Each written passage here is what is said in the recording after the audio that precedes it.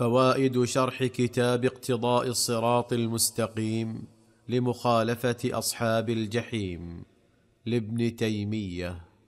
ولهذا نهى النبي صلى الله عليه وسلم عن التشدد في العبادة وقال إن المنبت لا أرضا قطع ولا ظهرا أبقى. أبقى.